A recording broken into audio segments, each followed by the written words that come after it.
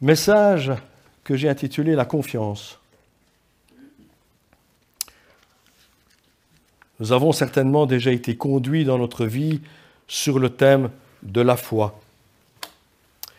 Si nous faisions un référendum, parmi vous ou n'importe qui d'autre, sur ce que représente la foi pour chacun d'entre nous, je suis certain qu'il y aurait plus d'exemples, d'images, de témoignages pour expliquer la foi qu'une définition claire et précise. Cette définition pourrait s'exprimer comme suit. Il y en sans doute d'autres.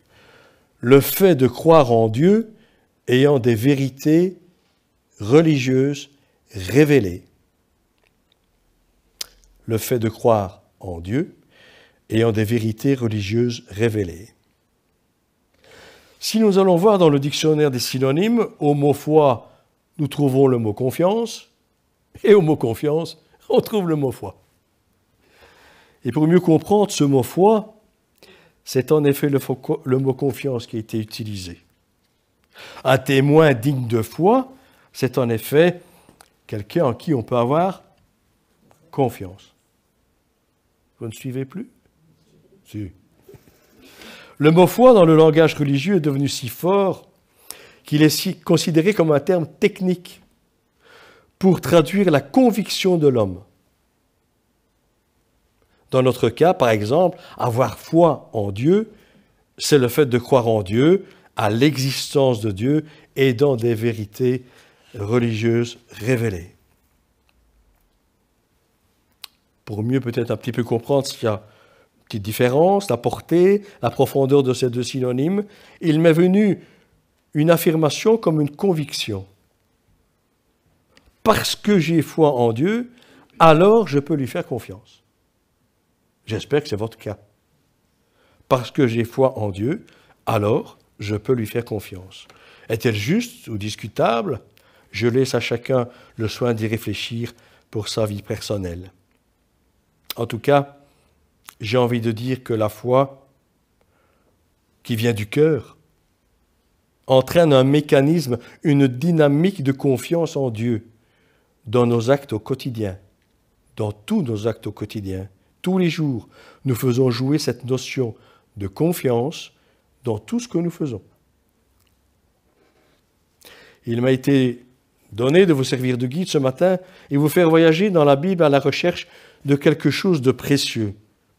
Et ce quelque chose est d'autant plus précieux que nous en manquons tous plus ou moins. Et ce trésor, ben on l'a déjà évoqué, c'est la confiance. Pour ce culte atypique, j'ai pensé qu'on pourrait prendre chaque lettre du mot confiance comme un acrostiche. Chaque lettre, une à la fois, sera la première lettre d'un conseil biblique, pour ne pas dire d'un ordre ou d'un conseil. Nous verrons que chaque verset nous ramènera à ce sujet, la confiance. La première lettre du mot confiance, c'est C. Pas d'objection? C'est bon, je continue. Comme dans Acte 16, 31, crois au Seigneur Jésus et tu seras sauvé. Il est bon de se rappeler des choses fondamentales comme celle-là. Il n'y a rien de plus simple que ça. Il n'y a rien de plus enfantin. La facilité, la simplicité à croire d'un enfant. Pour lui, pas besoin de longs et grands discours. Pas besoin de démonstration, pas besoin de miracle. Ce n'est pas pour rien que le Seigneur a donné des leçons aux hommes de son temps en parlant des enfants. Si tu crois au Seigneur Jésus, ce qui te sauve, c'est que tu crois qu'il est le Fils du Dieu Tout-Puissant, Créateur du ciel et de la terre. On pourrait réciter tout le credo. Oh non, merci, on vient déjà de le faire, il est déjà assez long. C'est que tu crois qu'il est le rocher de ton salut, qu'il a le pouvoir de te libérer de n'importe quel, de, euh, de tes problèmes. Rappelez-vous les paroles de Philippe de Courroux, auteur, compositeur, interprète. Dieu est plus grand et au-dessus de tes problèmes. Laisse-le en prendre soin et les résoudre et de faire en sorte que ta vie soit déjà ici-bas, comme un avant-goût de la vie. Philippe de Courreau nous a aussi interpellés sur notre valeur. Quelle est notre valeur? Notre valeur équivaut à la valeur du prix du sacrifice de Christ, mort à notre place pour nos fautes, et heureusement ressuscité pour nous offrir la vie. Amen. Oui, nous avons de la valeur aux yeux de Dieu. Pour quelle raison, me direz-vous? Pourrait-on se contenter de répondre Oh, Dieu a ses raisons, on n'a pas besoin de les connaître. C'est lui le souverain maître, il sait ce qu'il fait après tout. Ou dire il aime son œuvre comme le peintre aime son tableau, le sculpteur sa statue, le potier son vase.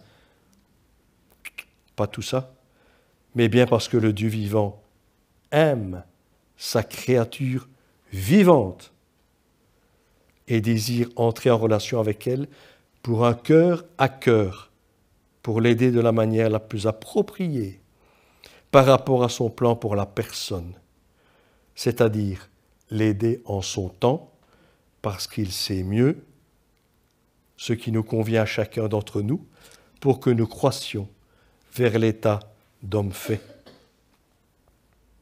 L'essentiel est d'avoir la conviction d'être sur la bonne et seule route adéquate pour nous, dans la main de Dieu, qui sait mieux que nous, qui voit plus loin que nous, parce qu'il sait toutes choses. N'a-t-on pas confiance quand on est sur la bonne route, même s'il y a des bouchons pour le moment, sur le bon chemin? Crois au Seigneur Jésus. Tu seras en de bonnes mains dans laquelle il n'y a absolument aucune raison de ne pas avoir confiance. Alors on peut s'occuper de tout le reste. La famille, les soucis, les enfants, les problèmes d'éducation, les aléas de la vie, le travail, le bien-être, le confort, ou pas, la maladie et tous les autres problèmes qui peuvent surgir et que nous connaissons tous. Confiance parce que nous savons que nous sommes sur la bonne route, quoi qu'il se passe, et donc vers la bonne destination qu'il a prévue. C'est vraiment cela le plus important. Rendons-lui grâce pour sa fidélité. Il nous permettra d'y rester sur cette route en nous incitant à chercher d'abord le royaume de Dieu. Tiens, ça commence aussi par un C. Chercher. Deuxième lettre, et je serai plus court pour les lettres suivantes. Lettre O comme dans Deutéronome 28, 1, qui dit Obéis à la voix de l'Éternel ton Dieu en observant et en mettant en pratique tous ces commandements que je te prescris aujourd'hui. L'Éternel ton Dieu te donnera la supériorité sur les nations de la terre. Quelle bénédiction pour le peuple d'Israël. Et puisque Dieu, dans son immense amour, a voulu élargir le salut à tous les hommes de la terre par l'œuvre de Jésus-Christ, à combien plus forte raison pouvons-nous bénéficier d'une telle bénédiction en plaçant notre confiance en ses promesses durant toute notre vie et en obéissant, en mettant en pratique ses commandements avec simplicité de cœur. Comme des enfants bien-aimés, nous serons pleins de confiance. Troisième lettre, N comme dans 1 Timothée 4, 6. Nourris-toi des paroles de la foi et de la bonne doctrine, comme Paul le constate chez son enfant légitime en la foi, Timothée. En fait, le verset commence par ces mots en exposant les choses aux frères. Ça veut dire en les cachant? Non, en les disant, en les proclamant. Cela signifie de prendre exemple sur lui en témoignant, en exhortant. Ce partage de la parole, de l'évangile, de la bonne nouvelle que nous avons reçu demande forcément une lecture préalable de cette parole vivante, que nous en ayons connaissance, que nous en soyons instruits, imbibés. L'homme ne vivra pas de pain seulement, mais de toute parole qui sort de la bouche de Dieu. Ça, c'est facile. Matthieu 4, 4. Ça, c'est très facile à retenir. Lisons aussi, il n'y a pas que la Bible. La Bible est essentielle et primordiale. Mais lisons aussi des récits, des témoignages de l'œuvre de Dieu dans le monde encore aujourd'hui. Et nous nous saurons sur le bon chemin. Et cela fortifiera notre confiance. Quatrième lettre, F comme Françoise. Ah non, pardon. F comme dans Psaume 149, 1. Fidèle chante ses louanges dans l'assemblée. Dieu s'est créé un peuple pour publier ses louanges, nous dit Esaïe. Voilà à quoi nous sommes destinés. Louer le Seigneur, sa grandeur, sa puissance, sa majesté, sa bonté, sa magnificence, sa fidélité, son amour parfait. La liste n'est pas exhaustive. Hein vous pouvez l'allonger chez vous. Et puis, publier ses louanges dans l'assemblée, combien ça fait du bien Qu'est-ce que c'est bon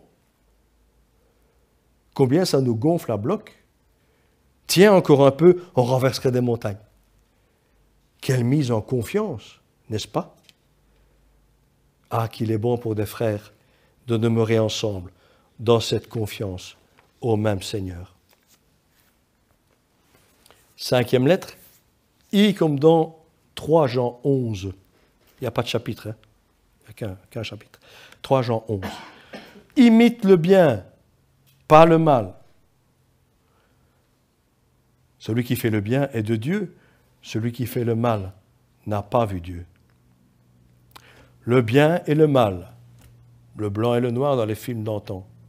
C'est notre lutte de chaque jour. Nous y sommes confrontés à chaque instant. Et la Bible renferme pas mal de versets y faisant référence. En voici quelques-uns, juste pour nous les remémorer. Et ce sont des impératifs. Cessez de faire le mal, apprenez à faire le bien. Ésaïe. Qu'il sache rejeter le mal et choisir le bien. Ésaïe. Rechercher le bien et non le mal. Non, pas Isaïe, Amos. Haïssez le mal, aimez le bien. Amos. Surmonte le mal par le bien. Popol, aux Romains. Surmonte le mal par le bien. C'est vraiment à l'image de la vie de Jésus et de son amour pour tous.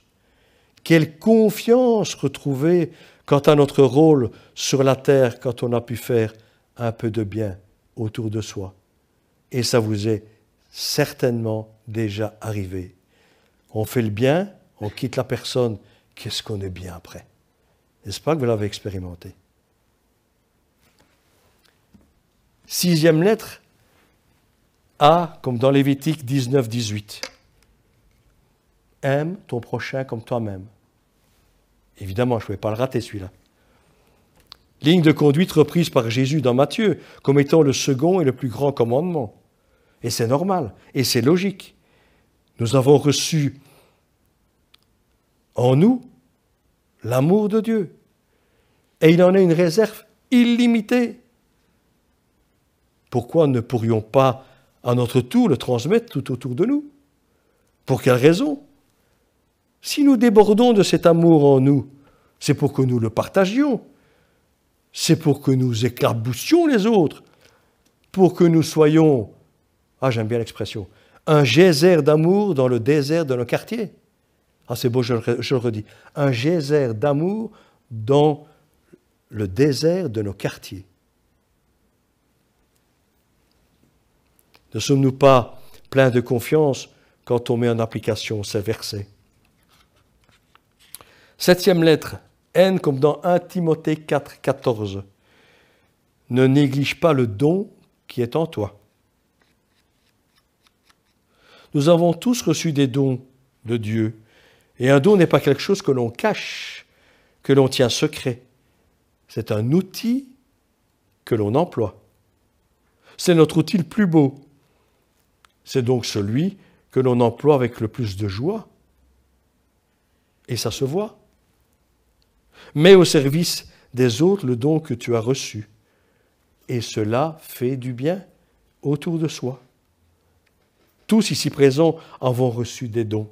Et si quelqu'un, comme j'ai déjà entendu, me dit ⁇ Je ne sais pas le don que j'ai reçu ⁇ il faut lui répondre qu'il y a au moins un don qu'il a reçu, celui de communiquer la parole, le regard, les mains, la gestuelle, on communique. C'est un don qui nous est donné, même s'il est muet.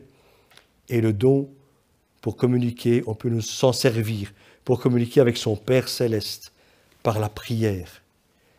À lui ou elle de l'employer et de s'exercer par ces simples mots Abba Père. Écoute ma prière. Écoute ton enfant. C'est un don. Dieu n'est jamais sourd aux prières qu'on lui adresse d'un cœur sincère. Quelle confiance quand on sait qu'on peut s'adresser à n'importe quel moment de sa vie, de la journée, même si la montre tombe en panne, ça n'a pas d'importance. On peut s'adresser au Père céleste à n'importe quel moment et s'adresser à notre Créateur. Huitième lettre, c'est comme dans Romains 6, 11. Considère-toi comme mort au péché et comme vivant pour Dieu en Jésus-Christ. Ça, c'est de l'apôtre Paulin. Nous ne sommes plus sous la loi, car quand nous sommes sous la loi, nous sommes dominés par le péché. Mais nous sommes sous la grâce, le pardon gratuit. Il nous délivre de la domination du péché, ce qui nous permet de vivre libre pour servir Dieu avec tous nos membres comme instruments de justice. Nous sommes débarrassés du péché, du mal sous toutes ses formes, des œuvres de l'homme charnel, l'impudicité, l'impureté, la débauche, l'idolâtrie, la magie, les inimitiés, les querelles, l'animosité, les disputes, les divisions, les sectes, l'envie, l'ivrognerie, les excès de table. Vous avez reconnu Galates 5 Galates 5, 19 et 20. Par contre, quelle confiance quand on sait porter le fruit de l'esprit, faire preuve de ce fruit d'esprit, l'amour, la joie, la paix, la patience, la bonté, la bienveillance, la fidélité, la douceur, la maîtrise de soi. Et vous avez reconnu la suite, Galates 5, 22. Dans toutes les circonstances de la vie, avec l'aide de Dieu. Oui, quelle confiance quand on peut avancer en sachant que le péché ne peut plus nous dominer parce que l'Esprit de Dieu est sur nous et nous garde, il nous aide, il nous guide, il nous préserve par amour pour nous. Neuvième et dernière lettre, E, comme dans Jérémie 38, 20. Et ça clôture favorablement notre message d'aujourd'hui. Écoute la voix de l'Éternel dans ce que je te dis. Tu t'en trouveras bien et tu auras la vie sauve, dit le prophète Jérémie 38. Un petit air connu et la boucle est bouclée. Ne pas écouter Dieu, c'est s'exposer à des ennuis graves. C'est être un enfant rebelle. C'est ouvrir la porte au péché. Mais écouter Dieu, c'est revenir à Dieu. C'est craindre l'Éternel, ce qui signifie l'aimer et le respecter. C'est être heureux, nous dit la parole, et c'est avoir la vie éternelle. Puissions-nous donc dire comme Samuel, parle Seigneur, ton serviteur écoute en sachant que celui qui écoute l'Éternel reposera avec assurance, il vivra tranquille et ne craindra aucun mal. N'est-ce pas merveilleux de mettre sa confiance en lui? Chers amis, il vient de vous être transmis un schéma de vie. Il y en a peut-être d'autres. Une ligne de conduite à adopter pour pouvoir traverser les méandres trop souvent pénibles de la vie sur Terre en toute confiance. Dans le pilote automatique qui nous mène à la vie, avec un V majuscule, quels que soient les vents et les marées, à l'image de Jésus dormant en paix dans la barque à l'heure de la tempête. Pour conclure, je m'associe au psalmiste en disant Heureux celui qui place en l'Éternel sa confiance, confiance totale pour vivre pleinement. Mets en l'Éternel ta confiance et il agira. Psaume 37, 5. Qu'Alfred Kuhn, je reviens à Kuhn, qu'il transcrit comme suit en bas de page pour expliquer toutes les manières possibles de, de traduire ce texte, remets ton destin aux mains du Seigneur. Aie confiance en lui. Compte sur lui. Fie-toi. Confie-toi en lui. Mets en lui ta foi. Assure-toi en lui. Remettant à lui. Confie-lui ta route. Et il agira. Il aura soin de toi. Il fera le nécessaire. Il mènera tout à bonne fin. Approchons-nous donc avec un cœur sincère dans la plénitude de la foi, ce qui signifie pleine confiance, les cœurs purifiés et les corps lavés d'une eau pure, selon ce que nous dit Hébreu 10, 22. Amen.